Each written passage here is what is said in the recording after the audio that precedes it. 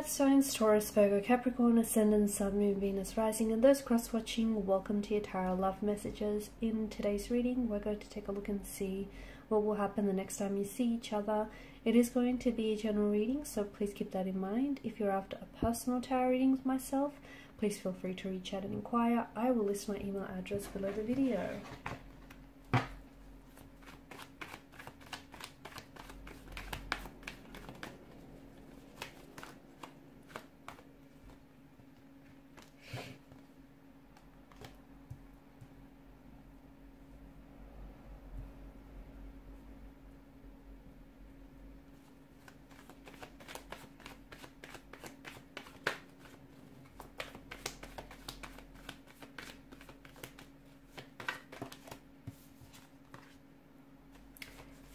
Okay, it definitely seems like the both of you are thinking about each other a lot. You've got the King and the Queen of Pentacles. Uh, the both of you are very drawn, okay, to each other's energy. Um, and you're both trying to manifest each other or manifest a connection, a relationship from out of the situation, possibly even a reconciliation. The thing is, I do get someone's energy as I don't know if it's yours, I don't know if it's theirs, but someone here is well, it's a frivolous type of energy. So, you know, someone here is not as invested in the relationship as the other person. Or someone here isn't necessarily, you know, they don't want anything serious. They don't want commitment. They don't want a relationship. Uh, maybe they just want to go with the flow. Maybe they want a casual arrangement type of a situation. Maybe they want to, you know, keep their options open. It just feels like even though the both of you are really attracted to each other, you're very drawn to each other, and you know you both want to manifest each other. I don't think you both. I don't think you both have the same intentions for this connection. I don't think you both have those same expectations of each other.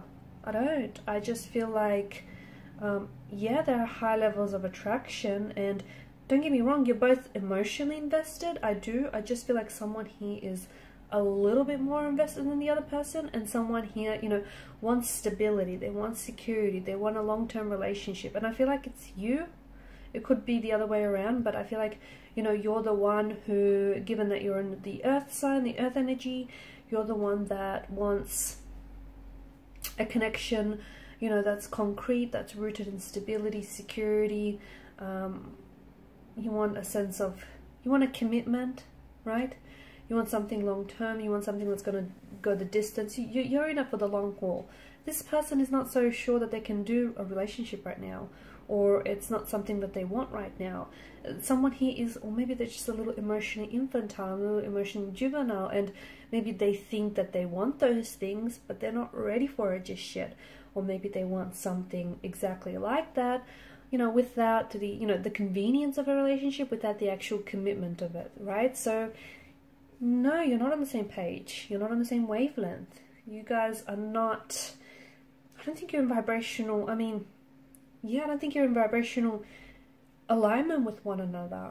You do want each other but just your intentions for the connection are very different very different I do think here's the thing. I do feel like you guys are very attracted to each other. You guys love being around one another. I do feel like you share a lot of you share a lot of things in common. And look, to be honest with you, this connection could be so much more than what it is. But I just think the intentions here are so different that that's what's kind of spoiling what this could be. You know, the Nine of Swords here, I feel like you, you both are thinking about each other a lot. You're both fantasizing about each other a lot. You're both if you're at a disconnection here, you're both missing each other, um, missing talking to one another, communicating with one another. Um, I do feel like the magician and the fool here seem to indicate if you're at a disconnection or if this is someone who has ghosted you, I see this person coming back. And I feel like they'll do it at a time where they catch you off guard. It's very unexpected and it's very um, sudden and it's just almost like this person is going to waltz back into your life. I don't know if this is their energy. I don't know if this is just their overall energy. I see someone being very, like, very laid back, very chilled, like, just, you know, they don't take too much on board. They're just, you know, very, hey, how you going? Just, you know, not very, and maybe that's just, you know, that's just how they are. Like, they don't take this person is so relaxed and they're so laid, laid back. Um, and that's just how they are. It's just their demeanor. You know, they're very light-hearted. They're very casual. Um, they're a lot of fun to be around. Um, but they don't take things seriously, including themselves. Right? Someone who's just they've got this self-deprecating humor that I'm seeing. Um, they've got this.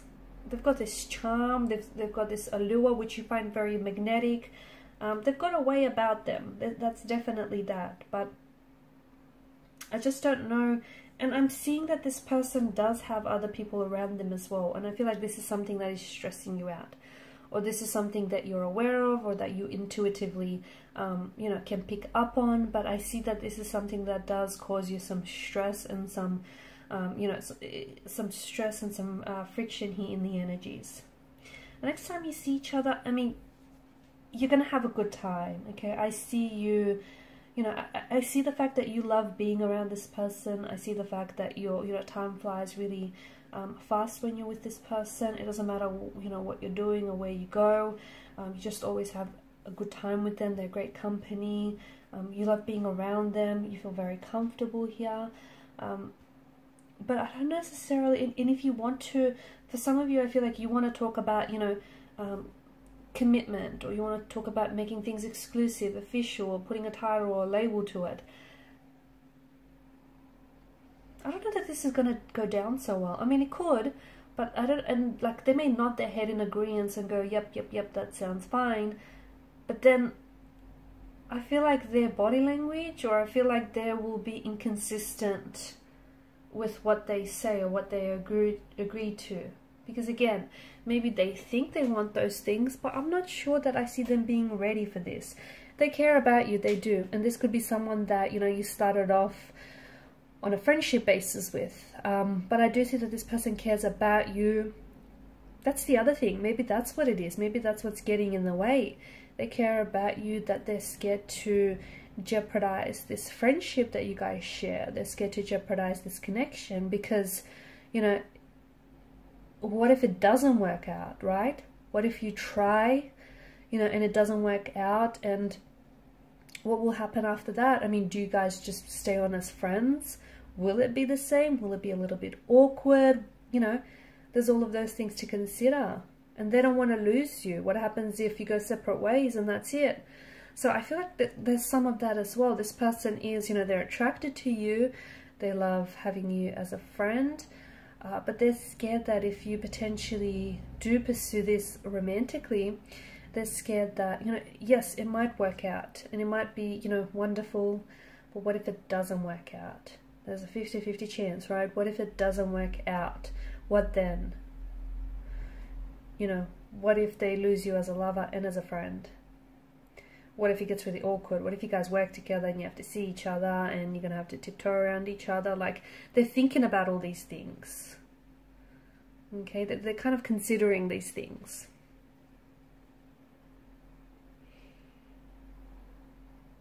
Some of you, I feel like, um, okay, this person, next time you see each other, I feel like there's going to be a date either I'm getting entertainment, film, theatre, uh, like an amusement park of some sort. Uh, it could be those um, gaming arcades.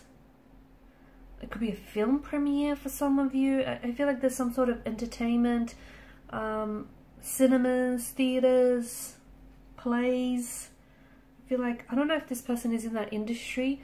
I don't know if they're aspiring to get to that industry or this is next time you see them, they plan to take you to an event. And again, I see you having a blast. I see you having a fun time. I just don't know that, you know, your intentions are matching up with one another, aligning with each other.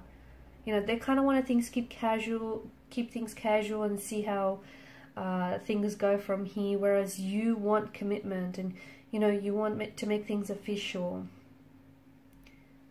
and it just feels like the both of you are somewhat on different pages. But look, next time you see each other, you're you're guaranteed to have a good time, um, as you typically do with this individual. Okay, guys, and these are your messages.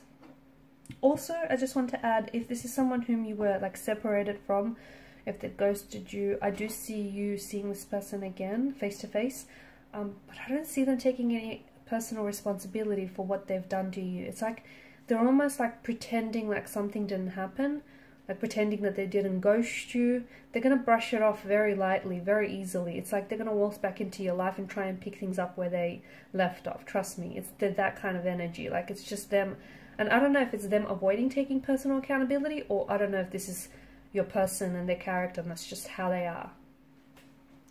Alright guys, that's that. Please show your support to the channel by liking, sharing and subscribing. Thank you so much for your time and your energy and your attention. Bye for now.